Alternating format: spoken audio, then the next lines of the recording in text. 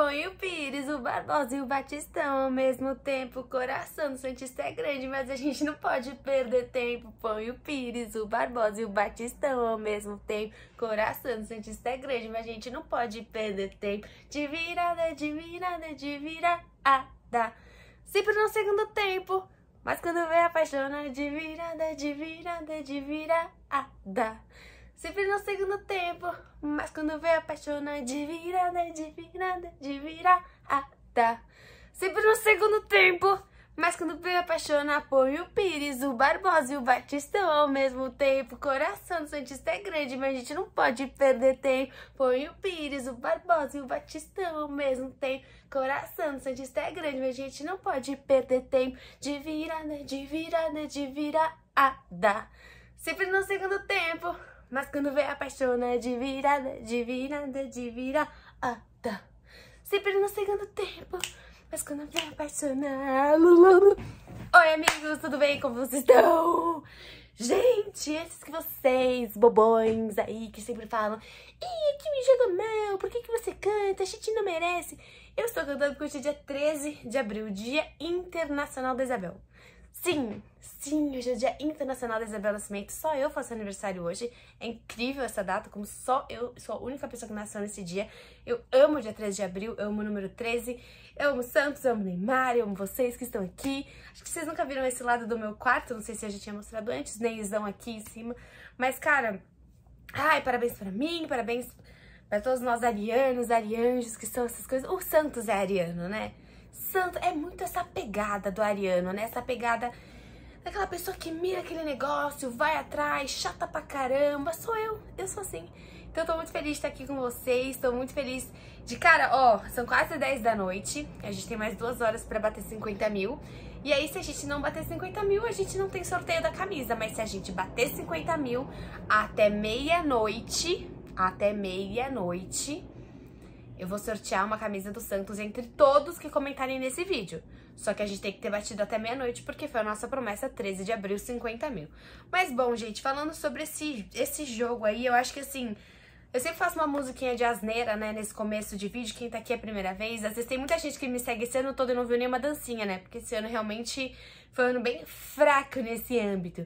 Mas eu acho que a dancinha e essa grande, maravilhosa letra que eu criei eu acho que é um Santos que, assim, a gente não pode perder tempo. É um Santos que melhora no segundo tempo. É até uma informação até que o Bruno Gilfrida trouxe é, no Twitter dele, falando das melhoras, assim, que por mais que o Bustos esteja se entendendo com esse time, e seja alguns momentos, alguns processos, algumas escolhas lentas, mas em geral ele faz boas substituições. Como eu falei, eu já falei isso no podcast da Globo, eu já falei em outros lugares, eu não vejo o Bustos um cara teimoso. Ele é um cara que ele tenta, ele tenta mesmo. Ele é um cara da rotatividade, mas ele não é um cara teimoso. Ele tentou Felipe Jonathan, não deu certo, ele troca. Ele tentou Marcos Guilherme, não deu certo, ele troca. Ele tentou o Goulart, não deu certo, ele tira. O próprio Marcos Leonardo, quando não estava bem, ele tirava. Ele não é um cara insistente nem porque o cara tem nome, nem porque, ah, é uma joia da base, tem que entrar. Ele não tem insistência, ele não tem teimosias com pequenas peças dentro do Santos. E eu acho isso muito valioso. Eu acho que é importante que um cara venha e não sabe o tamanho do embrólio que foi Marcos Leonardo dentro do Santos. E é claro que ele sabe a importância do jogador, Claro que ele sabe quem são os meninos da vila, mas ele não tem a obrigatoriedade de ter que colocar um Sandri, de ter que colocar um Ângelo, um Kaique, porque são meninos, ou ter que colocar os meninos que vieram da base. Ele consegue enxergar quem tá melhor e ele consegue fazer boas alterações. É claro que ele ainda tem muito que melhorar, como o Santos tem muito que melhorar. Hoje a gente teve, pô, tem estreias acontecendo o tempo todo, né? Estreia do Angulo, estreia do Ian Julio, os dois hoje pela primeira vez na Vila Belmiro.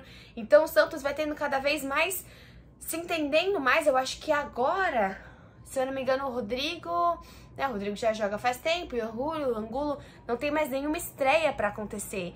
Então a gente passou os últimos dois jogos, os primeiros jogos da Sul-Americana, com estreias, com jogadores que nunca tinham jogado pelo Santos, jogadores que não conheciam a Vila Belmiro. E hoje até um abraço, um beijo para todo mundo que tava na Vila Belmiro. Eu queria muito ter ido à Vila Belmiro hoje no meu aniversário, mas eu trabalhei, eu trabalho né? Eu moro aqui em São Paulo, então vocês sabem como é, né? A gente trabalha até 6 e meia, 7 horas e possível chegar em Santos em um minuto. Então, mas que bom que vocês todos foram, que bom que deve ter sido uma partida maravilhosa de ter assistido. Um beijo pra Anitta que tava lá e com certeza ela morreu do coração. Mas eu acho que assim, quando você vê esse time do Santos, tem algumas certezas. E eu acho que é isso que eu trouxe no último vídeo que eu fiz, gravando sobre o jogo contra o Fluminense.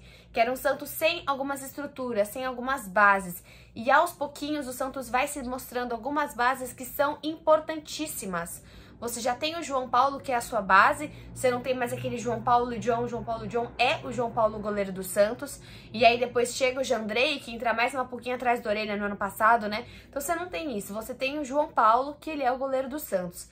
E hoje eu acho que a gente tá com uma zaga e com uma dupla de laterais. Eu não mudo essa dupla de laterais. Eu não consigo fazer uma alteração que vá melhorar. É claro que existem alterações Eventualmente pode ter um jogo muito ruim, seja do Madison, seja do Michael, mas assim, a zaga que tem Bauerman e Michael é muito complementar.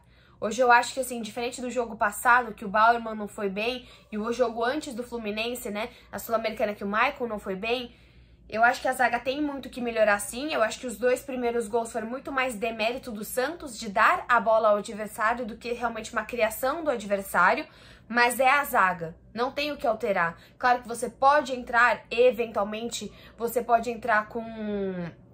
Você pode entrar com o Kaique, você pode entrar com. O Luiz Felipe você não vai entrar, então eu acho que dentro desses, desses nomes que a gente tem na zaga é principalmente você entrar com o Kaique. Mas eu acho que assim, é... quando você consegue ver que o Santos tem uma zaga, que o Santos tem dois nomes, que o Santos consegue minimamente. O Santista sabe quem vai jogar na zaga, sabe como joga essa zaga. A gente tentou uma vez ou outra jogar com esse terceiro zagueiro. Não acho que foi realmente um jogo muito melhor quando o Santos coloca o seu terceiro zagueiro.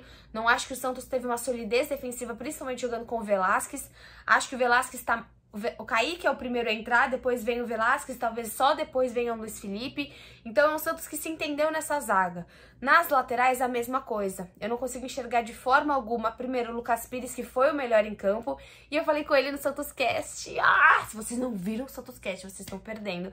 Foi maravilhoso a convite do Santos. Eu fui pra Santos e segunda-feira eu gravei com o Lucas Pires e gravei também com o Marcos Leonardo e o Juan. Foi maravilhoso poder gravar com os meninos da vila. Vocês sabem o quanto que eu chamo e chamo e repito e chamo de novo a base aqui.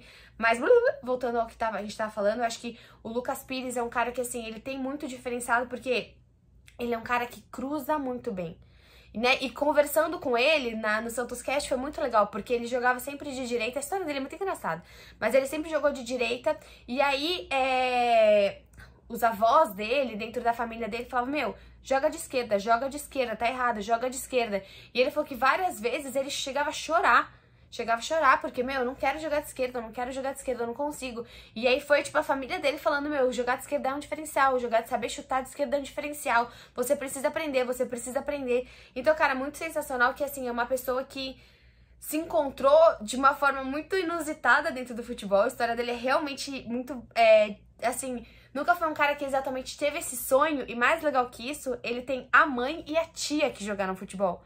Então, assim, porque ele tem teve um, um pai ausente, né? Não conheceu o pai dele, então assim, não foi nem ausente, né? Não conheceu o pai dele. Então, cara, quando você vê uma pessoa que simplesmente teve a mãe e a tia e a avó influenciando, porque a mãe e a tia jogavam bola, e aí ele é um cara que sempre, sempre jogou com a direita, e delas forçam ele a jogar com a esquerda, porque isso pode ser positivo também. Os avós dele super dentro da, da formação no futebol. A história dele é muito legal. Então, assim, poxa, ver uma baita partida dele e, a, e, e distanciam Felipe Jonathan de um Santos, que é o que eu trouxe para vocês no início do vídeo, que eu acho que o Bustos não é esse cara teimoso. Ele viu que o Felipe Jonathan não é um cara que dá certo, não é um cara que nesse momento não é um cara que consegue competir com esse todo esse potencial do Lucas Pires. Não é um cara que tem essa vivacidade, não é um cara que tá tão afim de jogar, porque nesse momento do Santos são três campeonatos seguidos brigando para não cair. A gente tá falando de um paulista, a gente tá falando de um brasileiro, a gente tá falando de um paulista. Então, assim, é dificílimo você jogar pelo Santos. Até o Lucas Pires falou no Santos Cast, falou, cara, vocês acham que a gente quer perder? Vocês acham que a gente entra com vontade de perder? Vocês acham que a gente entra com vontade de não jogar bem? E sabe, é... é... Obviamente que é tudo muito diferente, obviamente que é um time que, assim, quer jogar, que se irrita de não jogar bem, porque são meninos. A gente tá falando de pessoas de 18. Cara, o Santos Cast, Marcos Leonardo tem 18, acho que o Rua tem 20 ou 21, a mesma idade mais ou menos do Lucas Pires. Então, são sonhos a cada jogo, a cada momento, que eles sabem que, pô, um jogo que eles possam ir muito mal pode acabar com a carreira deles. Então, assim, a gente tem esse lateral esquerdo que é não dá para discutir. E de outro lado, o Matson que faz uma ótima partida, na minha visão. É o Matson que, assim, já falei inúmeras vezes, não vi ainda um bom jogo do Auro. E você tem uma preocupação na lateral direita, como a gente já falou aqui no canal, de todas as contratações do Santos, a contratação que é mais é, estranha nesse momento é não ter ido atrás de um lateral direito, visto que, poxa, o, Mauro, o Auro no primeiro jogo não foi nem convocado, sabe? Não foi nem relacionado. Então você tem de um outro lado é, esse, esse Matson que consegue, consegue fazer cruzamento, consegue ser ofensivo, talvez não seja o cara mais marcador, mas se você consegue minimamente trabalhar com esses dois zagueiros e entender os seus volantes, você consegue dar mais liberdade pro Matson, mas não necessariamente jogando com alas, porque eu não acho que o Santos funciona também com alas. Quando o Santos jogou com ala mais de uma vez, até com o Marcos Guilherme nessa função, ou com o Lucas Braga nessa função, joga com três zagueiros e com esses alas, eu não acho que é a formação ideal do Santos. O Santos consegue jogar com dois pontas no centroavante, como o Santos também consegue jogar com um meia e com dois atacantes na frente. Mas você liberar totalmente esses alas, eu acho que faz muita falta. Faz muita falta até para marcação, e eu não vejo esses alas tão mais leves para poder atacar, para poder fazer o que a gente viu demais hoje. A gente viu com Barbosa, a gente viu com Lucas Pires, a gente viu esses caras fazendo cruzamentos que a gente, cara, a gente viu dois gols de cabeça. O Santos só toma gol de cabeça. Né? Você assiste, sei lá, um jogo do Real Madrid, você assiste o Benzema, a facilidade que ele tem de, de, cabeçar, de cabecear, de estar no lugar certo, na hora certa. E hoje o Santos consegue muito mais ter esse time que, pô, a, a zaga do Santos é alta dá pra estar tá mais dentro da área. Você tem o Lucas Pires que é mais alto, o Matson que é mais alto. O Lucas Pires é mais alto do que quando a gente tinha o Felipe Jonathan. O Matson, se eu não me engano, o Matson é mais alto também que o Auro. Então, assim, é, deve ser também mais alto que o Pará. Então, eu vejo que a zaga e as laterais do Santos estão se firmando. E isso é muito importante, porque dali pra frente tá ainda uma bagunça. É um Bustos que monta um Santos com... É, com o Maranhão, que ainda não fez um bom jogo, um Rodrigo que tá se entendendo e tá evoluindo dentro do time do Santos, mas não é um criador e a gente é nítido que você não dá para compará-lo com o Zanocelo, são perfis totalmente diferentes. E basicamente você coloca um Goulart dentro desse meio de campo, um Johan Julio e um Lucas Braga lá na frente, mas assim, foi uma tremenda bagunça. Tanto que as cinco alterações, se eu não me engano, eu tô falando exatamente desses cinco caras. E as cinco alterações foram melhores do que estava dentro de campo. Então você tira o. Quando você tira o Maranhão, se não me engano, ele coloca o Zanocelo. Você tira o. o Rodrigo. E aí você também coloca o Pirani. Acho que assim, a única alteração que não foi tão efetiva foi tirar o Rodrigo e colocar o Piranha. Eu acho que o Rodrigo tá fazendo bons jogos. É um cara que tá evoluindo, é um cara que é marcador, é um cara que briga, é um cara que você vê raça, que é uma coisa que o Santista pede há muito tempo para os jogadores que estão dentro de campo, para mostrar um pouco mais de ser Santista dentro de campo. Mas é um time que para de ser tão reativo é um time que consegue ser um pouco mais criativo. Eu acho que é esse o balanço que o Bustos está tentando fazer. De entrar com esse time, não precisa ser cheio de moleque, mas não precisa ser um time pesado e precisa ser um time que consiga ser racional, mas também ser inteligente. Eu acho muito incrível quando acontece o pênalti, o Batistão fala que é ele que vai bater. Porque eu não sei se o Ângelo já tinha entrado nesse momento, mas o Ângelo poderia querer bater, o Julio poderia querer bater, é, mas não. E é uma bola pro, pro cara mais velho do ataque bater. É uma bola que se não fosse ele, teria que ser o Goulart, porque é uma bola importante. A gente não tá mais jogando contra o Mirassol, a gente não tá mais jogando qualquer tipo de partida. Daqui pra frente não terão qualquer tipo de partida. Terão sempre partidas decisivas. Então, o, o Batistão ele faz um papel que é o que a gente julga da importância do Michael, que a gente julga da importância também do Goulart, é pôr efetivamente essa bola embaixo do braço e mostrar que são jogadores que vieram para ser pilares da equipe e não jogadores que vieram simplesmente para compor elenco. Por isso que quando a gente vê notícias do Toró, esse tipo de notícia, é notícia que acaba incomodando o Santista porque não é o tipo de jogador que a gente vê que o Santos precisa nesse momento, que é só de compor. O Santos não precisa mais compor elenco. O Santos precisa ter uma estrutura de elenco. E aí, olhando pro ataque, é o que eu falei. É uma tremenda bagunça ainda como que ele vai montar esse ataque. É claro que a gente não tá contando com um dos melhores jogadores por conta da suspensão, que é o Marcos Leonardo. O Marcos Leonardo volta a jogar no final de semana, provavelmente vai ser colocado. Mas acho que assim, até o próprio Brian Angulo, né, que eu não comentei quando eu falei desse ataque, é um cara que consegue ser muito, até alguém falou, né, no, no, no Twitter, muito voluntarioso. É um cara que aparece bastante. Só o primeiro jogo dele, né, dentro da Vila Belmiro. Então, assim, dá pra gente ter mais calma. O Johan Julio é um cara que me lembra muito o Marinho. Então a gente espera que ele fique dentro do Marinho no sentido de ser criativo, de bater bolas ser forte, né? Bater bolas de fora da área, mas que não venha ser um Kaikai, que hoje se mostrou de novo um Lucas Braga que não joga bem. As entradas, como nós falamos, as substituições foram efetivas dentro do jogo do Bustos. Além dessas substituições atrás, um Barbosa que entra muito bem, um Batistão que entra muito bem e um Ângelo que, por mais que sempre vai precisar ser cada vez mais objetivo, mas assim, muda o patamar ofensivo e criativo desse Santos. Talvez você entrar com toda essa garotada não possa ser tão efetiva, porque se possa prejudicar lá atrás. Você precisa talvez entender se o Maranhão é esse seu cara, que é um cara mais limitado para você marcar, para você criar. Se você consegue não entrar com o Maranhão, sei lá, se você consegue entrar com o Sandro e com o Rodrigo, eu não sei o que, que o Bustos vai fazer. Mas eu acho que assim, a gente tem cinco jogadores para trás, que é uma zaga, um lateral e um goleiro, que a gente tem uma certeza e pra frente uma bagunça. Mas assim como o Lucas Pires, eu acho que o Lucas, Bra o Lucas Barbosa vai aparecer cada vez mais com uma peça que precisa entrar. A gente talvez tenha uma certeza do próprio Marcos Leonardo, e assim a gente espera. E do Goulart, que eu acredito que por mais que ele esteja hoje, realmente não foi um bom jogo do Goulart, eu espero que ele esteja dentro desse campo, mas também fica, eu fico muito feliz de você não ter o Goulart entrar um Batistão e ele efetivamente responder à altura do que a gente espera do Goulart porque dentro do campo Goulart não estava, é, não estava oferecendo, não estava mostrando isso. Uf, nossa, que pós-jogo longo. Eu acho que hoje eu me, me exaltei um pouquinho aqui com vocês. Acho que é por conta do meu aniversário também. Mas, cara, eu fico extremamente feliz.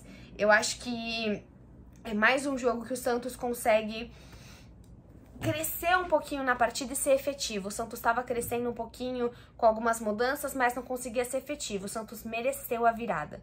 O Santos não foi igual ao final de semana que deu sorte de ter empatado. Hoje o Santos merece esse resultado. Volta aí, volta para casa não, porque já tá em casa. Conquista esses três pontos e se posiciona como alguém que tá brigando por essa Sul-Americana.